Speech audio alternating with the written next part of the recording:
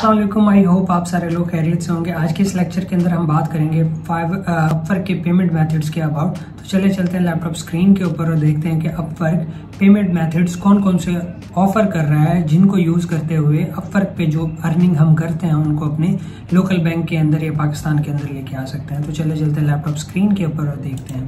तो यहाँ पे देखें हमारे पास जो है पेमेंट मेथड्स हैं। अगर मैं एड पेमेंट मेथड करूँ तो तीन ऑप्शन यहाँ पे दिखा रहा है। Direct to local bank transfer wire transfer direct to US bank transfer और फोर्थ वन जो पाइनियर है, जो कि मैं ऑलरेडी अटैच कर चुका हूँ, इस वजह से यहाँ पे शो नहीं हो रहा।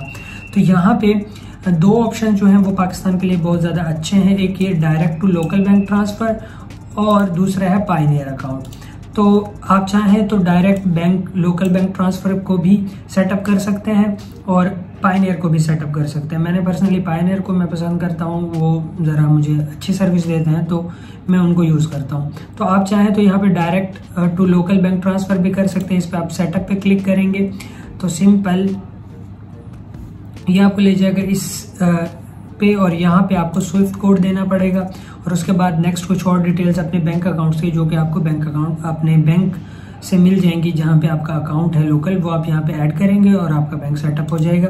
उसके बाद सिंपल आपका जो भी बैलेंस यहाँ पे इस तरह से शो हो रहा होगा, सिर्फ़ आपने उसको गेट पेड करना है और वो आपके उस बैंक के अंदर ये पाइनियर जो भी आपने अटैच किया, उसके अंदर चला जाएगा। तो ये पेमेंट मेथड्स थे, जिनको यूज़ करते हुए आप फ़र्क से पेमेंट निकाल सकते हैं अपने बैंक के अंदर या पाकिस्तान इंडिया या जहाँ पे भी आप चाहें। तो आई होप आपको समझ आई होगी कि कौन कौन से पेमेंट मेथड्स हैं, जो कि अपवर्क ऑफ़र कर रहा है। तो मिलते हैं इंशाल्लाह नेक्स्ट लेक्चर के अंदर। Till then keep learning keep exploring अल्लाह हाफिज़।